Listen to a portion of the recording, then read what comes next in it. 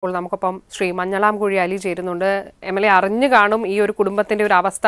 കല്യാണം നടക്കേണ്ട ഒരു വീട്ടിൽ മകനെ കാണാനില്ല എന്ന് പറഞ്ഞ അച്ഛനും അമ്മയും വിതുമ്പുകയാണ്. നമുക്ക് ഇപ്പോൾ മലപ്പുറം എസ് പിയിൽ നിന്ന് കിട്ടുന്ന വിവരം അനുസരിച്ച് രണ്ട് ടീമിനെ നിയോഗിച്ചിട്ടുണ്ട്. അതിനുമപ്പുറം കൂടുതൽ എന്ത് സഹായമാകും നമുക്ക് ആ കുടുംബത്തിന് നൽകാനുണ്ടാവുക?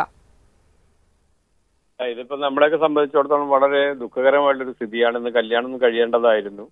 കഴിഞ്ഞ വ്യാഴാഴ്ച മുതൽ പയ്യനെ കാണുന്നില്ല. വളരെ നല്ലൊരു കുട്ടിയായിരുന്നു. വേറെ ആരോടും പ്രശ്നങ്ങളുള്ള ഒരു സംഗതിയൊന്നും ഞങ്ങൾക്ക് അറിയില്ല പാലക്കാടായിരുന്നു ജോലി ചെയ്തിരുന്നത്. ഐസ്ക്രീം കമ്പനിയിൽ അവിടെ ഒരു കമ്പനി ഉണ്ട് അവിടെ ജോലി ചെയ്ത് അവിടെ പണം വാങ്ങി കൊണ്ടുവരാമെന്ന് പറഞ്ഞ് പോയതാണ്.